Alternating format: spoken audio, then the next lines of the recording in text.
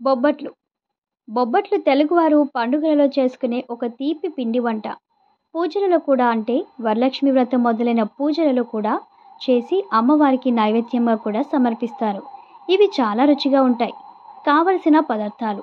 మైదా పిండి శనగపప్పు పంచదార యాలకులు తగినన్ని తయారు చేయు విధానం. మైదా పిండిని కొద్దిగా నూనె ఉప్పు వేసి నీళ్ళు పోసి చపాతీ పిండిలాగా కలుపుకొని మూత పెట్టి పక్కన పెట్టుకోవాలి. శనగపప్పును ఎక్కువగా కాకుండా తగినంత మాత్రమే అంటే సరిగ్గా ఉడకడానికి సరిపోయినంత నీరు పోసి కుక్కర్లో ఉడికించుకోవాలి.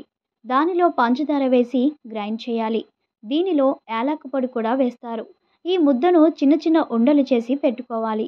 ఇప్పుడు కలిపి పెట్టుకున్న మైదా పిండి నుండి చిన్న ఉండను తీసుకొని చేతికి నూనె రాసుకొని మైదా పిండి ఉండను అరచేతిలో ఉంచుకొని కొద్దిగా చేతితోనే రొట్టెలా సాగదీసి అందులో శనగపప్పు పంచదార ముద్దను పెట్టి పూర్తిగా మూసివేయాలి. ఎక్కడా లోపల ఉన్న ముద్ద కనబడకుండా జాగ్రత్తగా ముయ్యాలి. ఇప్పుడు అరటి ఆకు మీద కానీ లేకపోతే పాల కవర్ మీద కానీ ఏదైనా దళసరి కవర్ మీదైనా సరే నూనె రాసి ఈ తయారు చేసుకున్న ఉండను చేతితోనే గుండ్రంగా వచ్చేలా రొట్టెలాగా కొంచెం లావుగానే వత్తుకోవాలి. లోపల పెట్టిన తీపి పదార్థం బయటకు రాకుండా వత్తుకోవాలి. ఇప్పుడు స్టవ్ మీద పెనం పెట్టి అది వేడెక్కాక కొద్దిగా నూనె రాసి ఆకు మీద తయారు చేసుకున్న రొట్టెను అలాగే ఆకుతోనే తీసి పెనం మీద రొట్టె పడేటట్లు పై వైపుకు ఆకు వచ్చేటట్లు వేసి మెల్లగా ఆకును తీసివేయాలి.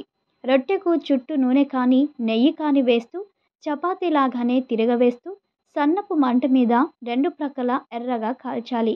ఈ బొబ్బట్లను నెయ్యి రాసుకొని వేడివేడిగా తింటే చాలా రుచిగా ఉంటుంది. ఈ బొబ్బట్టునే కర్నూలు వైపు వారు తక్కువ నూనె రాసి తీపి రొట్టెలాగా చేస్తారు.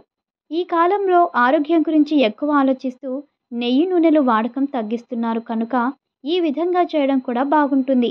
ఈ విధంగా చేసేటప్పుడు వత్తడానికి పిండినే ఉపయోగిస్తారు. మామూలుగా చపాతీ వత్తినట్లే వత్తుతారు ఇవి చాలా పెద్దవిగాను వీలైనంత పల్చగాను సన్నగా ఉంటాయి. నూనె నెయ్యి ఎక్కువగా ఉండవు కనుక వీనిని పాలల్లో కూడా వేసుకొని తింటారు. వీనిని తెలుగువారే కాక ఈ విధంగా మహారాష్ట్ర వారు కూడా చేస్తారు.